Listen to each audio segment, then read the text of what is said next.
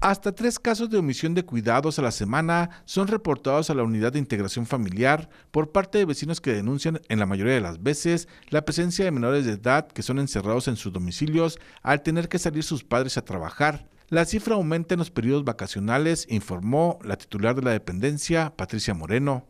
Nada más que los niños ahora son muy activos inmediatamente piden el auxilio de los vecinos. Los vecinos reportan y nosotros tenemos que acudir a atender esa situación.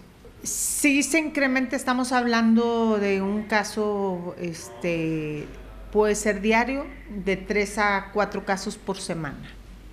Entonces, sí, de no tener, decimos, en periodo normal, hay este, a lo mejor tres casos en todo el mes y en periodo de vacaciones pudiéramos tener tres casos por semana.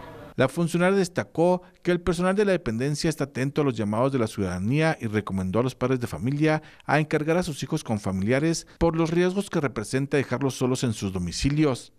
representa riesgos, sí, mucho, porque cualquier cosa que dejes puede ser un arma para un niño, desde un lápiz, o sea, si va corriendo se puede encajar el lápiz. Este, en, estos días nos tocaron unas niñitas que con un cuchillo trataban de abrir la puerta, entonces en lo que están ellas maniobrando se pueden lastimar las manitas. Cualquier cosa que vean, este, marquen al 410-4003 o al 911. Nosotros trabajamos las 24 horas, los 365 días del año.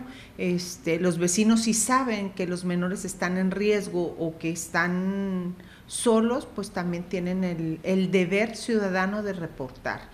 Para RCG Informa, Carlos Hernández.